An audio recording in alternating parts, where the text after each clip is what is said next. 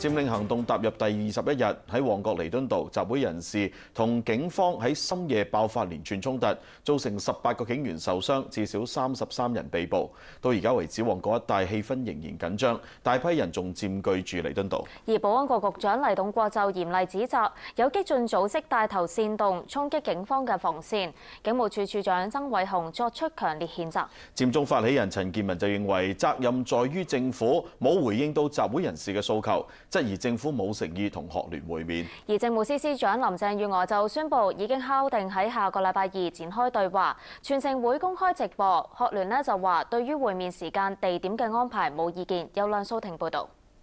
學聯要求喺下星期三之前同政府對話，政務司司長林鄭月娥就話初步敲定喺下星期二晏晝喺黃竹坑醫專同學聯舉行兩小時對話，會面會以直播方式進行，唔設觀眾席。並且邀請嶺南大學校長鄭國漢主持，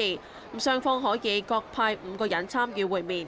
昨天香港學生聯會出嘅聲明呢，就話希望呢個對話能夠喺誒星期三之前進行，就叫我哋唔好拖延。咁其實我哋琴日俾咗佢嘅日子咧，係包括有一個星期二嘅日子嘅，打算推薦咧呢位誒召集人誒嚟到去做今次嘅誒會面嘅誒主持人。咁啊，呢位召集人呢，就係誒嶺南大學嘅鄭國漢教授嚇。咁我同鄭國漢教授咧就都係初步聯絡上五位人士出席。我哋呢方面嘅五位人士咧，當然係包括啊我啦、誒袁國強律政司司長啦、譚志源誒政制及內地事務局局長誒專責小組嚇。咁另外兩位咧就係分別係特首辦主任邱騰華，同埋係政制及內地事務局副局長劉光華。